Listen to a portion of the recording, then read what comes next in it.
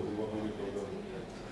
კულტურის სტრატეგიის დოკუმენტის სამუშაო ვერსიის საჯარო პრეზენტაცია ბოლნისში გამართა. ღონისძიება ბოლნისის მუნიციპალიტეტის გამგებელმა მისასალმებელი სიტყვით გახსნა, რის შემდეგაც კულტურისა და ძეგლთა დაცვის მინისტრმა ქვემო ქართლის მხარეში შემავალი სხვადასხვა სახელოვნებო დაწესებულების წარმომადგენლებს ესაუბრათ, თუ რას მოიცავს აღნიშნული დოკუმენტი. მისმა მოადგილემ კი დეტალური პრეზენტაცია წარადგინა სტრატეგიის შესახებ. საზოგადოებას ქვემო ქართლის გუბერნატორიც მიესალმა, რომელმაც შეხვედრის მნიშვნელობაზე ისაუბრა. საქართველოს კულტურისა და ძეგლთა დაცვის სამინისტროს მიერ კულტურის სტრატეგიის დოკუმენტის სამუშაო ვერსია შემუშავდა და თავრობის დამტკიცებამდე დოკუმენტის სრულყოფის მიზნით სამინისტრო საჯარო პრეზენტაციების ციკლს თბილისსა და რეგიონებში მართავს. რეგიონებში მოხდება ამ დოკუმენტის განხილვა და შეჯერება იმ საბოლოო წინადადების და მოსაზრებების თუ ასეთი იქნება იმისთვის რომ ამ დოკუმენტში ავსახოთ. ვიწყებთ რეგიონებში მოგზაურობას ბოლნისიდან. ძალიან მიხარია რომ ბევრი ხალხი არის შეკრებილი. ეს იმას ნიშნავს რომ ეს თემა ნამდვილად მნიშვნელოვანი არის და ძალიან ბევრ ადამიანს აინტერესებს. კულტურის სტრატეგია და სამოქმედო გეგმა ეს არის უნიშნულოვანესი დოკუმენტები რომელიც პირველად გაკეთდა საერთოდ საქართველოს ისტორიაში ასეთი სტრატეგიული დაგეგმვის დოკუმენტი და ხედავთ რომ როგორი აჟიოტაჟია, როგორი არის ადამიანები მოსული, იმიტომ რომ ისინი თვითონ მონაწილეობენ ამ პროცესში. ისინი არიან ჩართული ამ დოკუმენტის ამ არამარტო იმ ჩანაფიქრში, არამედ ამ დოკუმენტის შექმნაში. კულტურის სტრატეგიის მიზანია განსაზღვროს საქართველოსი კულტურისა და შემოქმედებითი სექტორის განვითარების გრძელვადიანი ხედვა, რომელიც წარმოაჩენს როგორც კულტურის თანდაყოლილ ღირებულებას, ასევე მის მნიშვნელობას ეროვნული იდენტობისა და სოციალური ერთობის განმტკიცებისა და ქვეყნის მდგრად განვითარებაში.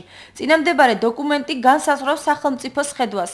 აღნიშნული სტრატეგია ორი ტიპის მიდგომას ეფუძნება. ერთის მხრივ განსაზღვრავს ძირითად თემებს, მიზნებსა და ამოცანებს, რომლებიც საერთოა კულტურის ყველა დარგისათვის. მეორე მხრივ იმ აქტივობებს, რომელიც კულტურის კონკრეტული დარგის სპეციფიკითაა განპირობებული. სწორედ ამიტომ რეგიონული შეხვედრების პარალელურად ევროკავშირის აღმოსავლეთ პარტნიორობის კულტურის პროგრამის მხარდაჭერით ჩატარდება შეხვედრები კულტურის სფეროს, პროფესიულ წრეებთან, ეთნიკური და რელიგიური უმცირესობების, კერძო სექტორის, მასმედიისა და სხვა დაინტერესებულ პირებთან. თებერვალში დაგეგმილია 12 რეგიონული, 10 დარგობრივი და 4 თავისუფალი დასწრების ფორმატის შეხვედრა. ქვემო ქართლში რეგიონული შეხვედრა ბოლნიში გამართა. ამ დოკუმენტის ბოლნიში განხილვა ჩვენთვის არის ორმაგად მნიშვნელოვანი, იმდენად რამდენადაც ბოლნისი ყოველთვის გამოირჩეოდა თავის კულტურული ტრადიციებით და მე მინდა საქართველოს კულტურის და ძეგლთა დაცვის მინისტრ ბატონ მიხეილ გიორგაძეს განსაკუთრებული მადლობა გადაუხადო იმისათვის, რომ ჩვენ მოგვეცა საშუალება ბოლნიში ჩვენ საზოგადოებასთან ერთად გაგვიხილა ეს დოკუმენტი. მე ვფიქრობ ამ დოკუმენტის ამოქმედება იქნება რეალური ნაბიჯი ჩვენი კულტურის სტაბილური განვითარებისთვის 2025 წლამდე პერიოდში. ჩემთვის არის ბედნიერი წუთები, როდესაც ხდება სახელმწიფოს მხრიდან დანახვა და სიღრმეებში შესვლა კულტურისა და ხელოვნების სფეროების სიღრმისეული შესწავლა, რომ საბჭოთა დროიდან მოყოლებული ის ძველი მენტალობით შემდგარი კულტურამ განიცადოს მოდერნიზაცია, გადავიდეს ახალ რელსებზე, შეიძინოს სხვა მასშტაბები და საზოგადოებისათვის გახდეს შედეგის მომტანი.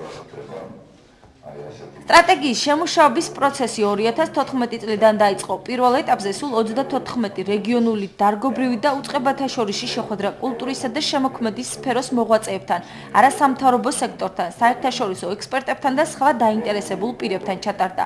შეხვედრების პარალელურად მიმდინარეობდა კონსულტაციები, შენიშვნებისა და რეკომენდაციების გაზიარება. ამჯერადაც საკუთარი შეხედულებების გაზიარების საშუალება მსურველებს თებერვლის ბოლომდე შეეძლებათ.